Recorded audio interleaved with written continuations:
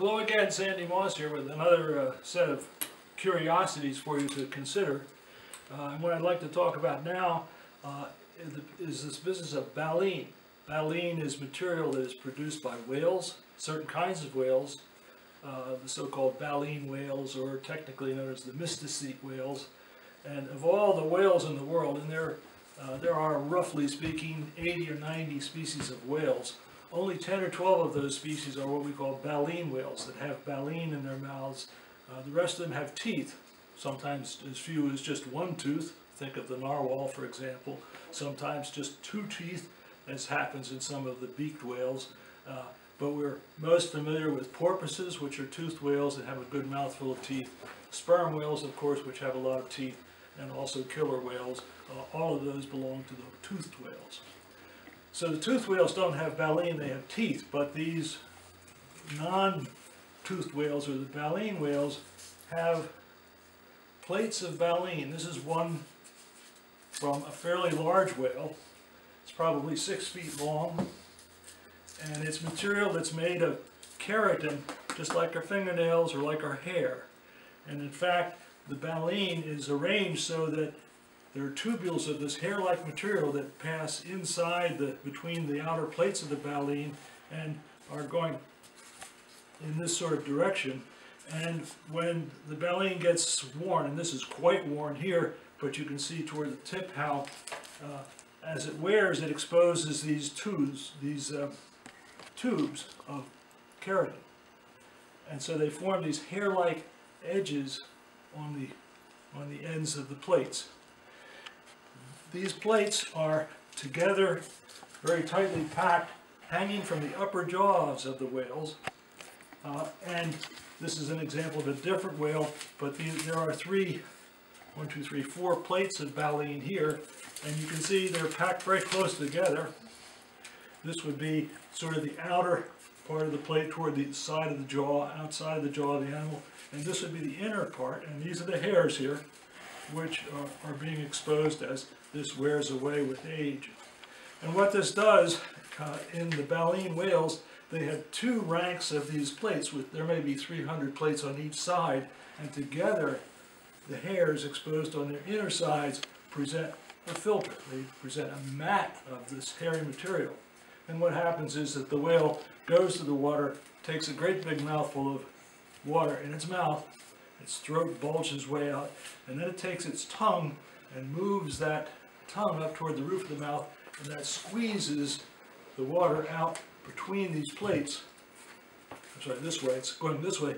It squeezes between these plates, and the food for the animal gets impinged on these hairs, on this, on this filter plate that's created. And the whale just wipes that off with its tongue and takes a, a swallow to get all the material that's trapped there, and then takes another big mouthful of water and squeezes that out. That's how they make their life. Doesn't sound very exciting, but it's pretty effective for them. Now, this whale here is, if you looked at it closely, you could see that this whale, which is from a humpback whale, very active whale that people see on whale watches quite frequently. This is old stuff. This this material is 100 years old and was taken long before any bans on on uh, whaling were in effect. Uh, but this one has rather coarse hairs. This is a humpback whale, and it eats fish, small fish preferentially, sardine-sized fish, sand eels, small herring, and so forth, anchovies. And so it has very coarse hairs. This plate, again very old, is from a right whale which was commercially exploited during the 19th century. They, the whalers didn't bother much with the, the uh, with the humpback whales for a number of reasons, one of which was the oil they got for them was, was inferior. Another reason was if they killed a, right, a, humpback whale, it usually sank, and they'd have to go through the devil to, to, pull it to the surface if they were able to, to get at it. So they generally didn't mess with these. The right whales, however, tended to float when they were killed, and so they could handle those. But this right whale has much finer hairs, much longer plates, presents a much finer filter, and these things feed on small zooplankton or copepods, which are about the size of a grain of rice. So they, they get their food from this much finer filtration. And I mentioned, uh, I have mentioned before about baleen being susceptible to damage by insects. And we can certainly see that here. Uh, If you look closely, you can see this, this piece of baleen has numbers of holes through it. And these holes were created when a tiny moth of a type that likes to eat baleen, sort of like a clothes moth eating wool, you know, uh, they settle on here when the baleen is fresh after it's been cut out of a whale's mouth, uh, and then they lay eggs on it, and the eggs hatch into larvae, which burrow through the substance of the baleen, and ultimately the larvae emerge and fly away as, as uh, adult insects. And you can see this one, this piece is, is literally riddled with, with insect holes and insect damage here. Baleen was very important in the, in the 19th century as an economic uh, or as a source of income for whalers. And this baleen was used uh, for supporting corsets and shirt stays. It was even planed to make curlicues to stuff furniture with or stuff upholstery with. Uh, it was uh, used in a number of ways. The, the Eskimos did something interesting with this. They they would cut strips of baleen from the bowhead whales that are up in the northern part of the, the Bering Straits. Uh, they would cut strips of this stuff and, and heat it. And baleen, like plastic or like keratin, can be molded. If you heat it, you can bend it, you can shape it. What they did was to was to bend it into a sort of a U. They'd sharpen the two ends. They'd bend it around, and then they'd put it out in the cold in a piece of meat, say a piece of walrus blubber.